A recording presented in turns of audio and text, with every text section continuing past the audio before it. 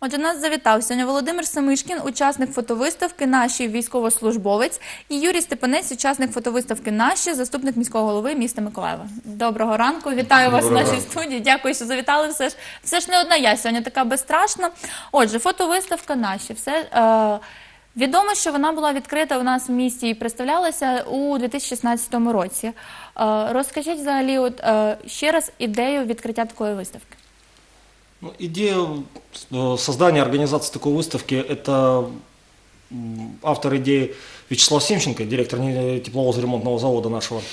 Вот э, он выдвинул такую идею, вот, ребята, вы воюете, давайте как-то покажем людям, э, вот, как вы там живете, как вот происходит эта война. Вот, и собрали фотографии. Вот, фотографии непрофессиональные, это вот то, что ребята, бойцы, вот, мы в том числе, снимали на телефоны. Мгм. Тобто, а взагалі е, ще як збирались фотографії? Можливо, по якійсь тематиці, чи можливо. Я от читала, що і були описи до фото навіть. Під кожним фото були описи, що, де, коли, як ставалося, щоб люди більш розуміли ситуацію і якось переживали це все. Наверное, я отвечу. Первоначально не было никаких э, писательных э, табличек по фотографиями. Э, Фотографии собирали действительно все э, военнослужащие, которые участвовали, э, не будем называть, э, АТО, это действительно война на Востоке происходит, непосредственно участники войны, защитники нашей Родины, от простого солдата до офицера. Поэтому первоначально просто выставили все фотографии, которые были собраны, выставили, отобрали лучшие из них и выставили на выставке. А уже надписи появились позже. Это когда мы повезли эту фотовыставку в Венгрию, там уже подписывали, там и на украинском языке были подписаны фотографии, и на венгерском, соответственно. Мгм. Тобто зараз у Угорщині представлена виставка, і можна і там, що дуже хочеться, можна поїхати подивитися. А, чому я знаю, що назва була наші, була змінена на ск- нескоренні. Чому так? Вирішили змінити назву? Ну, получается, то, что так как она поехала за рубеж, эта выставка, Э, название этого, допустим, когда в Украине представляешь, это понятно, что наши, это вот наши ребята, наши хлопцы. А для иностранных граждан, ну вот как-то наши, кто наши? Вот. Поэтому решили поменять название. Угу. Тобто, щоб більш зрозуміло було. А чому от, е, вирішили представляти виставку у інших країнах е, світу і Європи? Е, як думаєте, ну на вашу думку, чому варто показувати, що відбувається у нас в Україні, і взагалі от, знайомити людей з цим?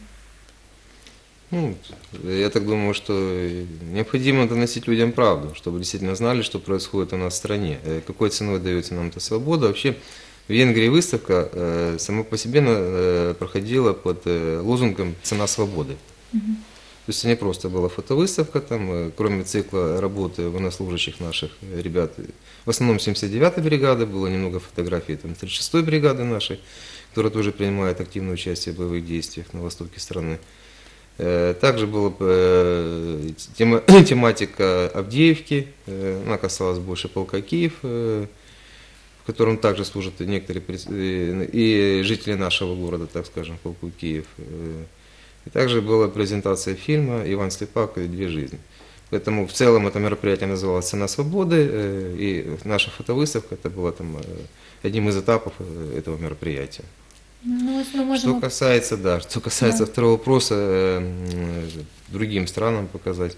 Я общался с нашим послом, послом Украины в Венгрии, и она попросила, чтобы мы оставили эти фото- фотографии в Венгрии. Э, У них будет встреча послов ЕС, и она обязательно эти фотографии, она хочет на эту фотовыставку показать послам ЕС, чтобы действительно каждый э, представитель страны ЕС видел, что, что происходит у нас на востоке страны. Ну, от ми можемо навіть побачити ці фото, які були ось у нас на екрані показують. Я думаю, можна вивести, да. Дійсно, дивлячись на фото, розумію, що відбувається. Ось Декілька. Взагалі, скільки фоторобіт представлено? Э, Больше 200, где-то порядка 250.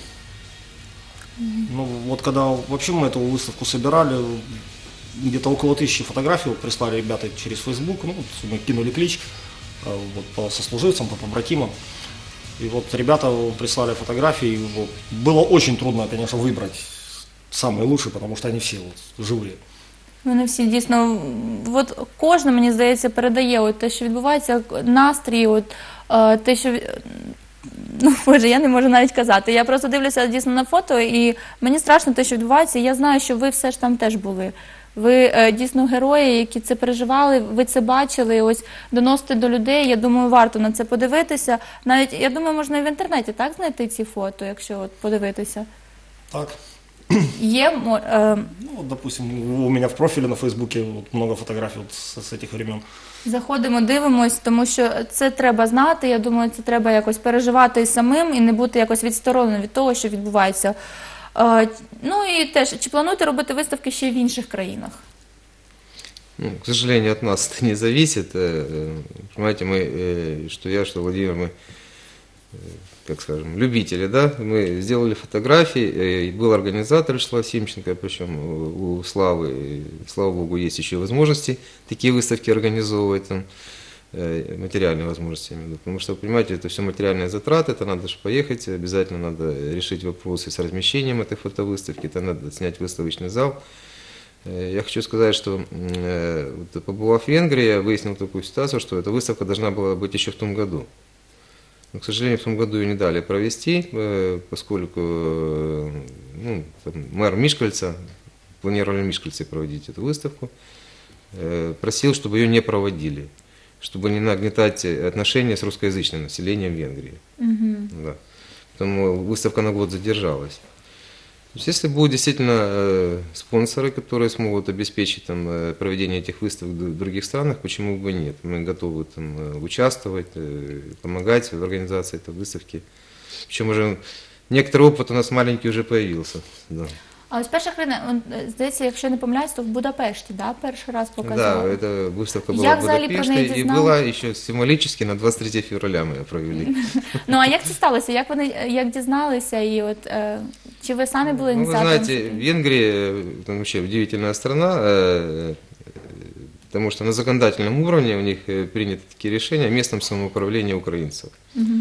Ну, То есть каждая община имеет своего мэра, имеет э, свои представительные органы, есть предс- э, представитель в парламенте местного самоврядування Украины в Угорщине, есть президент у них, поэтому там немножко проще, э, очень сильная э, наша диаспора украинская, Е, законодательно там у- действительно узаконено місцеве самоврядування українців, українців в Угорщині. Поэтому начали с Венгрии. И почему именно там провели, еще, э, если еще э, есть наши волонтеры, вернее, их волонтеры, которые помогают нашим ребятам на, в зоне АТО. И благодаря этим волонтерам, которые выезжали с Венгрии, смотрели действительно, что происходит на востоке страны, они помогли в организации этой выставки. То есть, Теж э, небайдужі да, люди. місцеве самоврядування України в Угорщині организатором выступила, и часть волонтеров, которые помогают нашим ребятам на востоке страны. Поэтому первая выставка прошла в Венгрии. От, е, І ще раз нагадати, до якого числа воно буде там? Мы оставили фотографии, они будут... там, Просто оставили. Да, как А от ще питання таке: от е, ну часто бувають з фото, е, показують і те, чим воюють наші військові. Чи ви збирали такі, от можливо, там ну от гільзи, каски показують? Чи ви збирали якусь оборонну зброю е, для виставки чи ні? Нет, мы э, ограничились только фотографиями. Все-таки как провозить железо через границу в виде тех же осколков, Не, вот, гильз, ну, в оно Миколаеве, было коли представляла. У нас организован ряд музеев. Вот я был на открытии музея э, в нашем э, бывшем кораблестроительном, да, сейчас морской э, университет национальный. Вот у них в музее собирается такая экспозиция. Ряд школ, я знаю, пооткрывали такие экспозиции, где э, военнослужащие сдавали какие-то вещи свои, там, какие-то, которые привезли с зоны АТО. Там, и в в музеях, в школах, в университетах они есть, эти вещи. Дякую вам, що завітали до нашої студії. Дійсно розказали. Я думаю, ця справа гідна поваги. Е, Тільки те, що ви вже е, були там у зоні АТО, те, що захищали нашу країну, вже варто повагати. Те, що ви розказуєте про це і показуєте, я взагалі я дивлюсь на ці фото і дійсно стає страшно, але дійсно переживаю те, що там відбувається. Я думаю, всі наші глядачі на це дивляться і так думають. То я нагадаю, що до нашої студії сьогодні завітали Володимир Семишкін, е, Семишкін, учасник фотовиставки Наші, військовослужбовець, і Юрій Степанець, учасник фотовиставки Наші, заступник міського голови міста Миколаїв. Дякуємо, що завітали, показали, розказали. Бажаю вам дійсно.